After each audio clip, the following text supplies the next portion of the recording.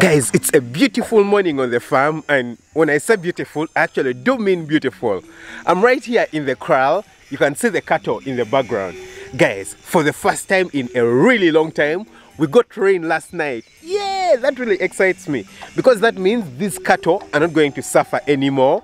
And then that means that the crops that we planted are actually going to grow. I was worried about the maize and the beans that we had planted, and because we had no rain. Anyway, what makes it more beautiful is that last night we had a new calf delivered. Woo! A new calf delivered. Let me just show you guys. Right here, guys. Take a look. Take a look, guys. You can see the calf in the background. Yeah, with the mother. The mother is licking the calf. You can see it was born just in the night. It's a brand new baby, and the mother is just trying to lick him. Now, because the ground is a bit muddy from the rain, Despite the fact that the calf has just been produced, they already look muddy. But that really excites me. And that takes the number of cattle we have on the farm to almost 140. Yay! So guys, the calf that was delivered is actually male. And I honestly don't know what's happening.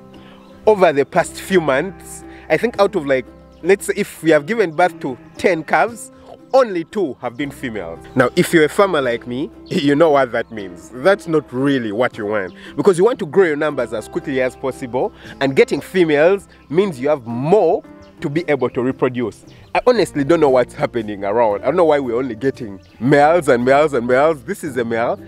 Out of the past six that have been delivered, only one has been female. Ah, quite disappointing. But it's always a nice thing to have new life around on the farm. So guys, these are dairy cattle that we have on the farm.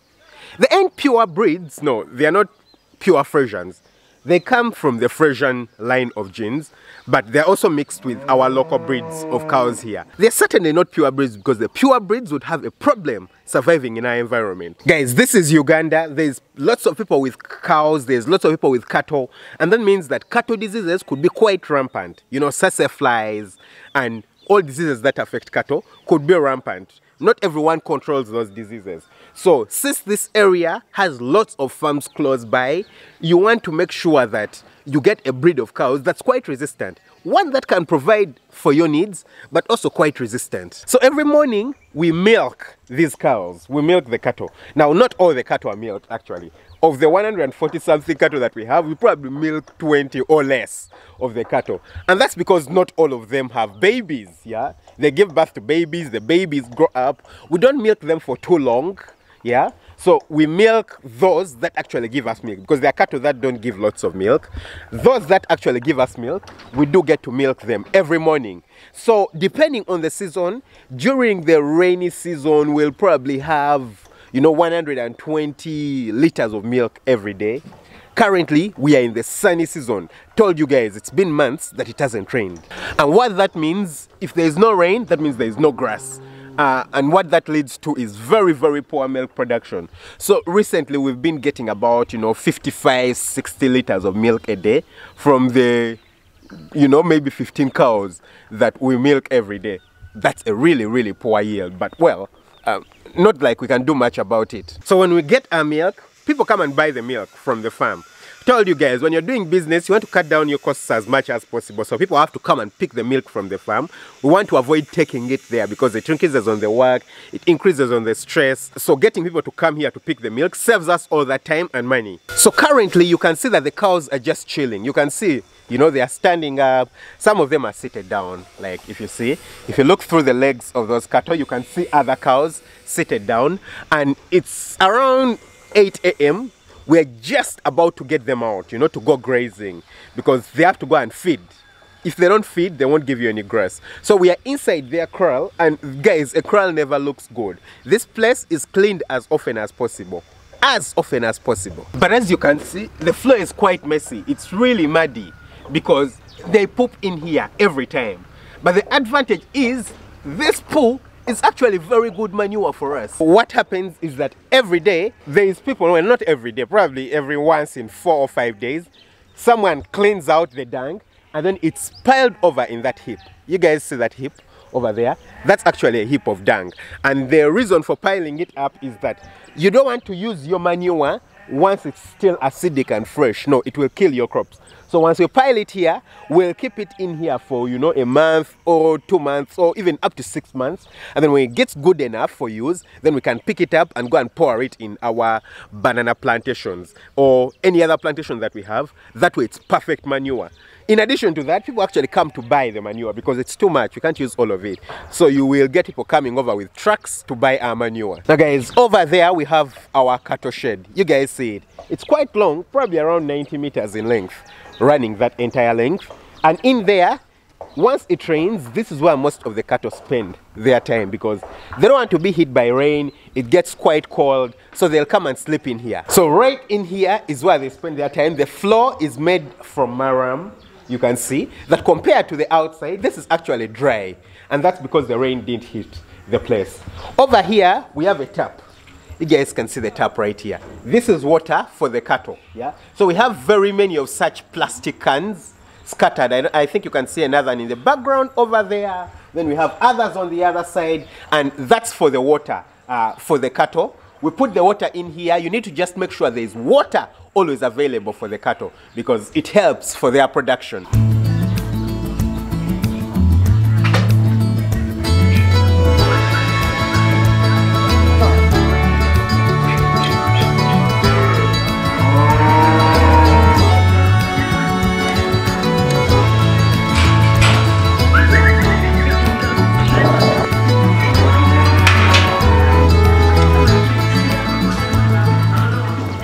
Now that the calves have been separated, the cows are still here with a lot of the younger cows actually.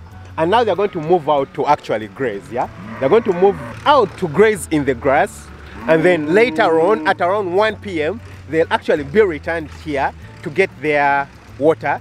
By the way, I hadn't told you guys, we actually have salt here.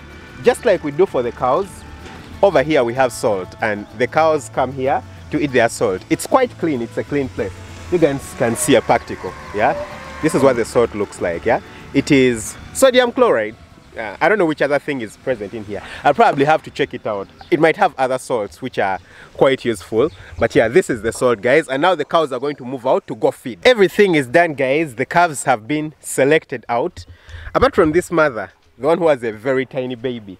But the mother has to leave because if they don't leave, they won't have any milk. So they're going to leave their baby in here. But the rest of the calves have been taken to the shed just to separate them, to make sure they don't move with their mothers. So the mothers are going to go out and feed, and the adults and the young guys, yeah? The, the youths, they are all in here. So they're going to go out and feed. Then the very little ones, you guys can see, I don't know, if you can't, but through the building behind there is a paddock, a small paddock. And right there is where the calves will go to feed from. They go and feed from there the entire day. They have their water from there. It's quite big, a huge number of acres, maybe around five acres for maybe 15 or 20 calves, big enough. So they'll feed from there and then later on they will return in the evening. They'll again get separated so that the mothers sleep here, the calves sleep the other side. So the calves get to breastfeed in the morning.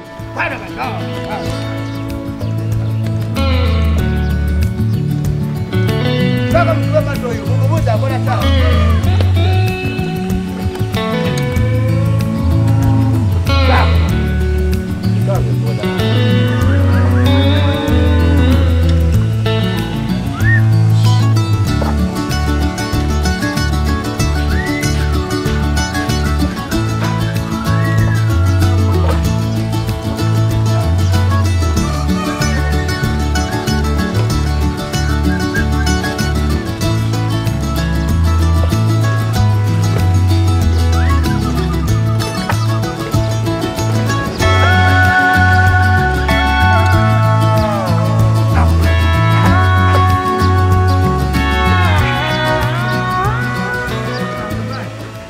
Guys, now that the other cows have moved, we have just opened for the calves and we're going to let them move out, go into the pasture.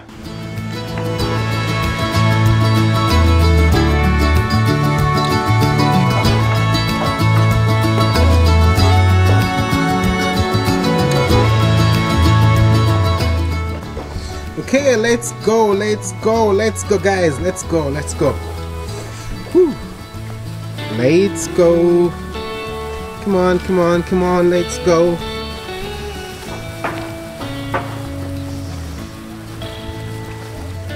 So right here in this paddock, you can see it in the background. This is where the calves are going to be feeding. They're just 17. I've actually just counted them. Just 17 and they have all this grass to themselves. You can see all this expansion. Too much. They could never finish it. So this is where they'll spend the day they really don't need to go with their parents. They'll feed on the grass. They don't eat too much grass, but they'll eat a little bit of it. They do do their breast milk in the mornings after we've milked the cows, you know, we just take out a little milk and then leave the rest for the babies. That was a brief tour. If you have any questions, any comments, leave them in the comment section below. Don't forget to hit the subscribe button, smash that notification bell. That way you never miss out on an upload. Lots of love. Catch you very soon with another video. Bye-bye.